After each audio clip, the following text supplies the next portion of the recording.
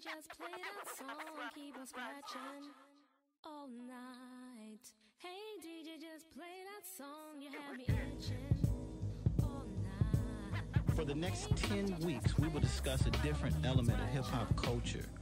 Uh, those elements being the DJ, the MC, breaking, graffiti art, street knowledge, beatboxing, street fashion, street language, and street entrepreneurialism.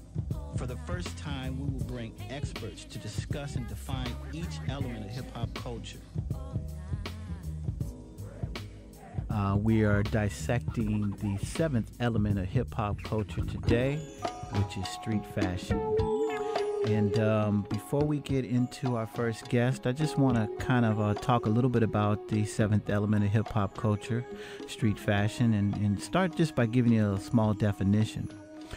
Uh, street fashion is the study and application of urban trends and styles, commonly refers to clothing trends of inner city. However, street fashion deals with all trends and all styles of hip hop culture, what's in and what's out, regardless of expression. Its practitioners are known as hip hoppers. Self expression through street fashion is an important way to present hip hop's unique identity to the world. Street fashion represents the prominence of all hip hop cultural codes, forms, and customs. Not only is fashion a very ancient form of communication, but our expressed consciousness was and still is also represented in a way in which we adorned, colored, and dressed ourselves. Hip hop street fashion has transformed the whole fashion industry, generating billions in revenue and setting all the trends for the world's youth.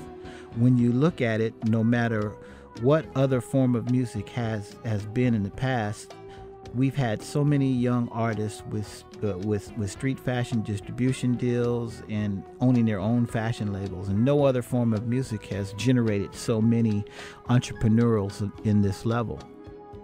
Hip hop artists have done a better job at transforming the fashion industry than any of their counterparts. They have gradu- uh, that have graduated with college degrees. Instead of celebrating this fact, society has missed the real positive impact of some of the most successful um, young people and have stigmatized uh, this industry. Um, and created an illusion that hip hop as a whole is a negative influence. Street fashion is young, street fashion is urban, funky, and fresh. And right now, we're going to go on to our first uh, person on the line. And uh, I want to introduce this gentleman. He is the CEO and founder of FUBU, the collection. He's the author of Display of Power, and he's a branding expert.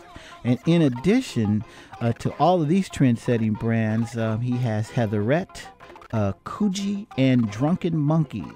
And uh, welcome to the show, Mr. Daymond John. How you doing? Hey, what's up, man? Thanks for having me. How you doing? Oh, real good, real good. So, as you know, today we are talking about uh, something you know very, very well about. That street fashion? Right. Yeah. And uh, I wanted to kind of uh, uh, get to know you a little bit. How did you uh, get involved in uh, hip hop culture and fashion? How, how, how did you get involved with that? Well, I mean, you know, I think hip hop culture always, uh, fashion is a really big part of it. So, you know, I was always into hip hop, and that that simultaneously means I was always into fashion. But in regards to hip hop, um, you know, I was fortunate enough to grow up in uh, Hollis, Queens, where you know, they say something's in the water. You know, a lot of cats came from there. It was Russell, the uh, Russell Simmons, Run DMC, Salt-N-Pepa, Right. LL Cool J, Tribe Called Quest. I can go on forever. Right.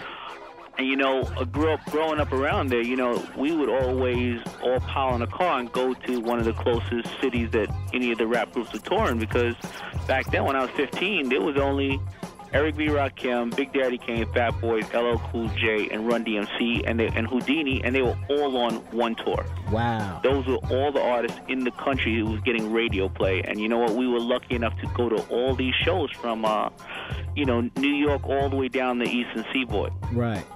So, you know, we had a different type of style or flavor from New York, whatever you want to call it. And, uh, you know, we would wear our clothes and we would go down on these tours and kids would buy these clothes off our backs. Mm.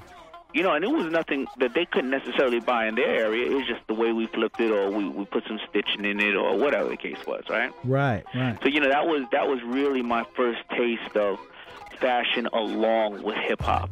Mm. You know? Yeah. And so your entrepreneurial spirit must have came out of that. How did you know that this was something that you wanted to do? And then once you knew that this was something that you wanted to do, how did you set your plan into action?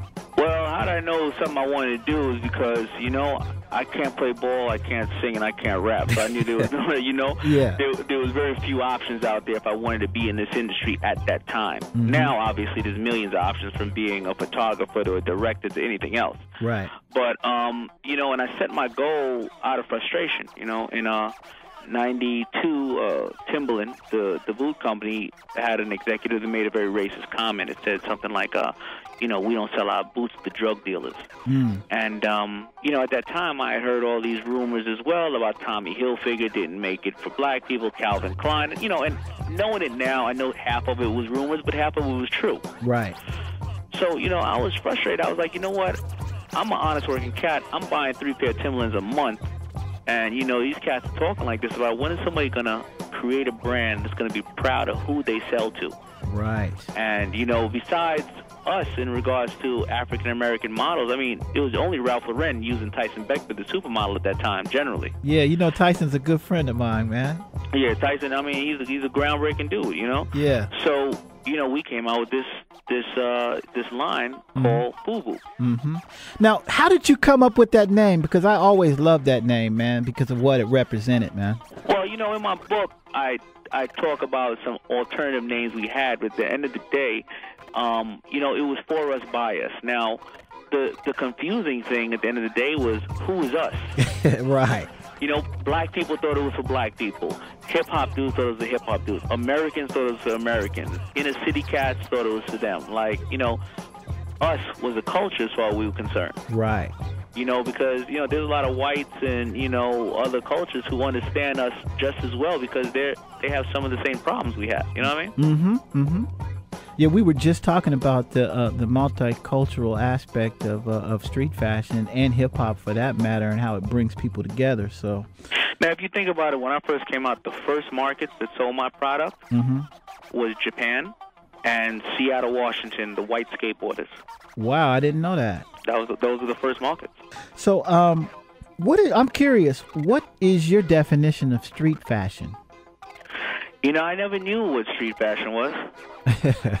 you know, and I never knew what urban fashion was. That's always been, you know, a quandary to me because if is urban fashion is urban fashion because blacks wear it or blacks make it? Right.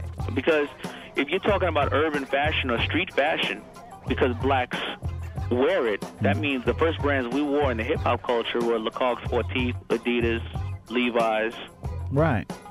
so Carhartt. So they're not called urban companies. Not at all. or street fashion company. And if you're talking about because blacks make it, we've been designing uh, since the beginning of time Mm-hmm. for all the companies. You know, from people owning black, yellow, yellow, white, and brown. You know, it doesn't matter. Right. So I think that this was some way for, um, you know, people have to call it something. Um, but you know, you look in the street now, a dude will be rocking Louis Vuitton just as quick as he'll be rocking FUBU and Coogi. So uh, I was always trying to guess what that was. What What makes one designer better than another? Um, I don't think any design is better than the other. I think that the message they're getting across does it get across with purity, and it's a and why are you designing it? And designing is one small aspect of everything else because it's all about what you're designing, Mm-hmm.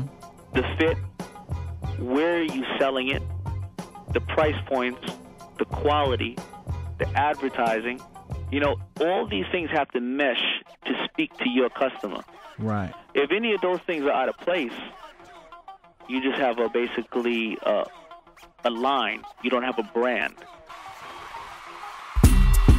This is Miles, and we're taking a break, and we'll be back with the Keith Tucker Show.